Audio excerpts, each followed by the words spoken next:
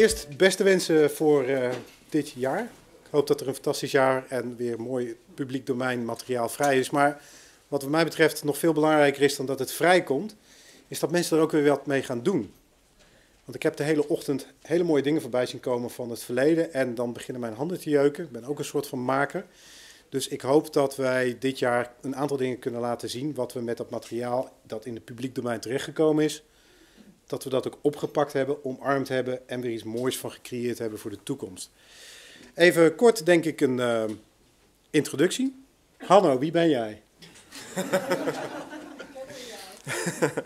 um, ik ik uh, doe veel digitale projecten en ik ben vrijwilliger bij Wikipedia. En ik heb copyclear opgezet om auteursrechten van collecties autom geautomatiseerd door te nemen. Dankjewel. Ja, mijn naam is Hessel van Oorschot en jullie zien hier staan uh, mijn e-mailadres, hesselapenstaatje opennederland.nl.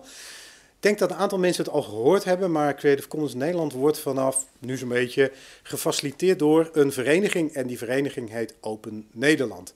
En jullie zijn natuurlijk allemaal van harte welkom om daar even te gaan snuffelen, lid te worden, bij te dragen, het gesprek aan te gaan, te roepen als wij een bepaalde richting in moeten. En als ik zeg we, dan is dat het bestuur, maar ook de leden. En uh, ik ben uh, de secretaris van het bestuur sinds september van het jaar. En daarnaast kunnen mensen mij kennen van een bedrijf hier in Nederland, in Amsterdam. En dat heet Tribe of Noise. En dat vertegenwoordigt zo'n 30.000 artiesten wereldwijd. En daar maken we heel veel gebruik van Creative Commons licenties. Dus daar weet ik ook een paar dingetjes van. Dus dat kunnen we misschien ook nog even aanraken. Um, voordat wij beginnen met het verhaaltje over een project, wat wij met heel veel liefde de afgelopen weken en maanden gedraaid hebben, wil ik één klein dingetje uitleggen over auteursrecht als het aankomt in de muziekwereld. Want het is een muzieknummer, zoals we dat horen met onze oren en op de radio en uh, op onze telefoons, bestaat natuurlijk uit een compositie. Iemand heeft dat nummer geschreven, denk maar aan John Eubanks. Uh, er is een tekst als het om een, een, een een nummer gaat waar uh, vocaal bij zit. Ook daar is dus een tekstschrijver geweest die uiteindelijk gezegd heeft van, nou, dit, dit zijn lyrics van tekst. En iemand heeft het opgenomen, de recording, de opname. En dat zijn drie onderdelen die dus gescheiden zijn met, met rechten. En dat maakt het best wel lastig. Dus voor ons project, dat heet Re-Recording of Re-Rec, uh, hebben gekeken naar composities en teksten. En als het dus een instrumentaal liedje is, zaten er geen teksten bij.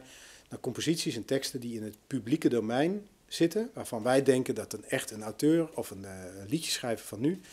Uh, nee, ik zeg het verkeerd. Eigenlijk een uitvoerend artiest. Dus iemand die zingt en iemand die opneemt. Dat die persoon het heel leuk zou vinden om daar weer een nieuw werk van te maken. Een nieuwe recording. En dat dan ook weer uit te brengen onder een open licentie. Nou, maar dat begon bij een enorme zoektocht. En uh, dat ga ik één stapje terug. Hanno. Ja, um, we, zijn een, uh, we zijn begonnen met Wikidata om dat te gebruiken om auteursrechten daarop te plaatsen. Um, door bijvoorbeeld collecties van een, archief door te, een collectie van een archief door te nemen. En alle fotografen en andere vervaardigers te checken of ze op bij RKD bestaan of in een andere database. En als ze nog niet bestaan, voegen we ze toe aan Wikidata. En op die manier is Wikidata een database aan het worden waarin, uh, wat eigenlijk een soort auteursrechtenhub aan het worden is. Um, want elke vervaardiger, het doel is dat wij daar elke vervaardiger in hebben en ook um, de erven ervan, wie, um, of een auteursrechtenvertegenwoordiger of, een, of het liefst ook alle contactgegevens van diegene, dat die gewoon publiek openbaar daar staan. voor enkele archieven en musea hebben we dat al gedaan. En dat werkt um, vrij aardig. Er zijn een paar duizend fotografen nu toegevoegd. Um, en komt steeds meer beschikbaar. En op die manier uh, kan, je daar, daar, kan je ook weer queries uithalen. Je kan um, zeggen van geef me alle fotografen die in Delft werkzaam zijn geweest. Of geef mij alle hoe heet dat, keramische kunstenaars van, de, die iets in de collectie van Boymans van Beuning hebben. Uh, maar zo kunnen we ook uh, muziekwerken uh, analyseren en kijken welke publiek domein zijn. En ik was daar een beetje optimistisch helaas uh, in, want op Wikidata staat dat dus nog niet heel erg goed. Um, en dat heeft te maken met precies wat jij zegt, dat een, um, een, een, een, een, lied um, een componist heeft en een, een, geschreven is door iemand. En ook vaak heel veel verschillende versies heeft. En Wikidata is een database die is ontstaan uit Wikipedia. Alle brongegevens van Wikipedia zijn in Wikidata geplaatst. Maar alle artikelen in Wikipedia die beschrijven een lied in de meest populaire versie van een, een recente uh, zanger of uh, groep. Um, en in Wikidata zie je dan dus terug bij een heel oud nummer uit 1913 dat, dat het van de Beastie Boys is of zo. En dus dat is niet helemaal correct.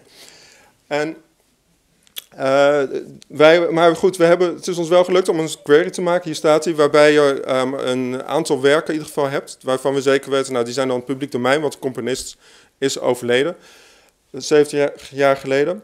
Um, dat hebben we een beetje afgebaakt dat we niet ook Bach en Mozart uh, tussen hebben zitten. En, um, en daaruit zouden we nu weer extra queries moeten kunnen doen. Maar we zijn eigenlijk ook nog op zoek naar goede databases van de top 40 en zo van voor de Tweede Wereldoorlog. Zodat we die erin aan te, uh, kunnen toevoegen. Want we kunnen wel de hele muziekcollectie van Buma Stembra toevoegen, maar dat gaat om miljoenen uh, nummers. Dus ik, dat is een project.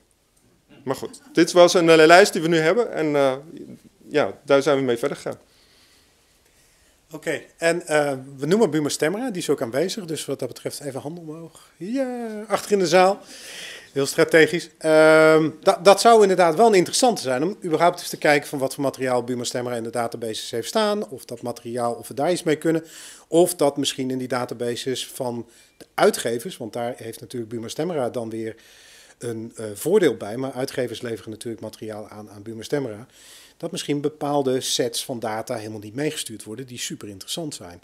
Hoe zit dat bijvoorbeeld inderdaad met al die uh, data van wanneer iemand geboren is en overlijden en of het wel of niet nog ergens in een testament terechtkomt, noem maar op. Dus sowieso interessant. Maar voor nu uh, was dat niet afgebakend om dat gelijk mee te nemen. Wat we gedaan hebben, en dit is monnikenwerk, handwerk, superleuk werk, is om door die lijst die, en dank daarvoor Hanno, aangeleverd werd aan ons, aan, aan, aan Tribe of Noise in dit geval, om eens te kijken, pak daar eens een paar leuke pareltjes uit van liedjes die we eigenlijk allemaal wel kennen. Ga op het internet op zoek naar de originele bladmuziek, hè, dus de sheetmuziek, zodat iemand dat na kan spelen. Kijk of je ergens nog een recording kan vinden, zodat mensen die die titel en dat, dat die, gespro of die, die teksten niks zeggen, dat ze even kunnen luisteren en denken, ah ja, dat deuntje herken ik. En zet er ook nog een YouTube filmpje bij van iemand die wat recenter nog met dat nummer aan de haal geweest is. En doe daar een mooie strik omheen. We noemen het een website. En bied dat dan aan aan makers van vandaag. Nou, op Tribe of Noise hebben we toegang tot zo'n 30.000 creatieven wereldwijd. Dus je snapt als je daar een nieuwsbrief naartoe stuurt en je zegt van doe mee en win wat leuks. Dat daar best wel wat reacties op komen. Eerste reactie die je krijgt is allemaal liedjes van die mensen die niks met de wedstrijd te maken hebben. Want ze sturen gewoon hun eigen repertoire in. Maar na verloop van tijd begint dat te komen. Nou, we hadden één manco en dat was de kerstvakantie en dat iedereen weg was. Dus het was niet helemaal perfect getimed van ons. Maar op zich kwamen er gelukkig goede inzendingen binnen. Dus dit hebben we in eerste instantie gepitcht, je kunt het bijna noemen, naar die artiesten. En uh, hopelijk was dat inderdaad voldoende inspiratie voor mensen om echt daadwerkelijk weer een recording studio in te stappen en dat nummer weer opnieuw op te nemen en van zichzelf te maken. Nou, daar hebben we dus inderdaad een. Uh, ik heb een voorbeeld meegenomen uh, van iets wat daar uitgekomen is. Uh, wat, wat nogmaals even moet realiseren is, is dat dus de compositie en de tekst van het nummer wat we zo laten horen in publiek domein staat. Ik heb een recording meegenomen die ontzettend copyright beveiligd is. Dus die zit hier ook in. Maar dan hoor je even een bekende artiest waarvan, die we allemaal kennen. Dat je denkt van, ah ja, zo klinkt die. Nu snap ik hem. En vervolgens nog twee artiesten van het platform van Tribe of Noise, die hem ook opgenomen hebben. Die staan erachter gemonteerd. Dus dan hoor je drie verschillende versies. En die laatste twee, die hebben ze opnieuw gelicenseerd onder een Creative Commons licentie. Dus die laatste twee mag iedereen oppakken, zelfs voor commercieel gebruik.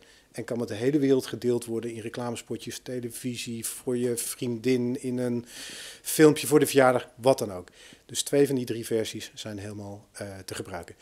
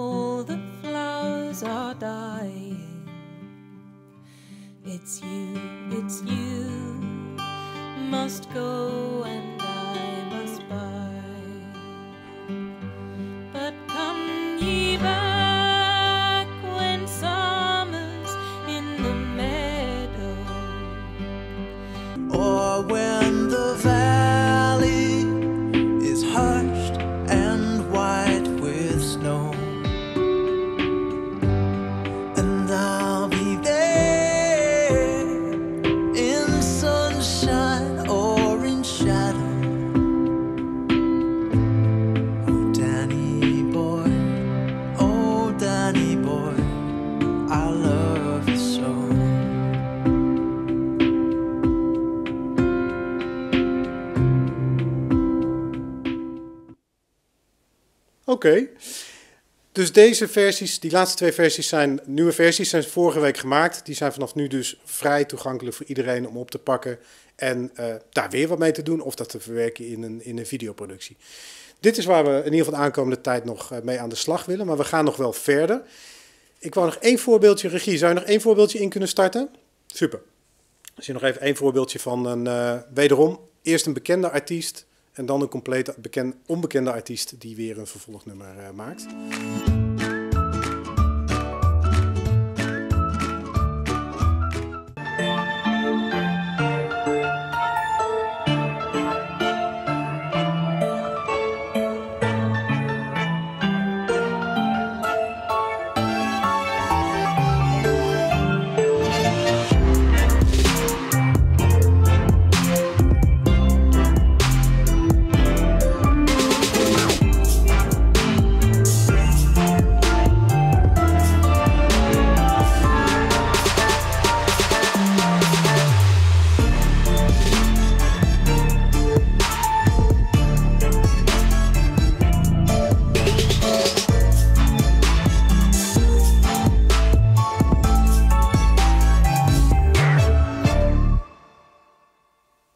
Heftigere versie.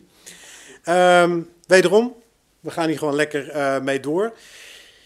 Kun jij wat vertellen? Wat, wat zou nog meer aan datasets? Wat, je hebt het net al even genoemd, maar zitten hier misschien mensen in de zaal waarvan je zegt van ik wil meer datasets, die heb ik nodig? Uh, goeie vraag. um, logischerwijs moeten we voor de Tweede Wereldoorlog kijken, oorlog kijken qua interessante composities. Dus het zou heel gaaf zijn als we daar met mensen naar kunnen kijken of we aan um, echte sets kunnen komen. Dus ik weet niet of daar ideeën over zijn. En het mooiste zou natuurlijk zijn als we ook composities kunnen vinden die later weer zijn uitgevoerd door Nina Simone bijvoorbeeld, die heeft er weer uitvoeringen ergens van, zodat de mensen die ook dan weer herkennen, zeg maar. Dan heb je een soort remake van nummers die wij al kennen. Dus nou goed, daar zouden we graag mee aan de slag willen. Um, dus ideeën zijn uh, van harte welkom. Oké, nou, uh, last but not least. Uh, ik, ik, noemde net al even iets over, over de wedstrijd. Wat we hier gedaan hebben is uh, alle nummers die nu binnenkomen. We hebben de deadline op 31 januari gezet. Dus we hebben hem iets langer gemaakt dan dat die was. Ehm, we willen daar de leukste acht van pakken en weer uitbrengen op vinyl. En iedereen in ieder geval die meegewerkt heeft en op die vinylplaat terechtgekomen is, 20 kopieën van die vinyl geven eye over een bol, kijken of we... We hebben een aantal verdienmodellen binnen Tribe of Noise om te kijken of we die nummers ook mee kunnen nemen, zodat ze elke maand geld verdienen aan het feit dat ze meegedaan hebben aan deze wedstrijd. En uh, kijken of we op deze manier misschien nieuwe markten aan kunnen boren voor mensen die het leuk vinden om remakes te maken van public domain repertoire. Dus het is zeker niet gezegd dat dit een eenmalige korte actie is met dit als uh, uitkomst. We willen kijken of we mensen ook iets terug kunnen geven in de zin van aandacht, aai over een bol, beetje geld en weer door kunnen om nieuwe producties te maken. Dus tot zover. Uh, super bedankt voor jullie aandacht. En alsjeblieft, uh, kijk nog even naar Open Nederland of je dat interessant vindt. Meld je aan. Hier staan onze e-mailadressen als jullie meer willen weten of willen deelnemen aan het project. En uh, dan gaan wij lekker doorbouwen. Dank.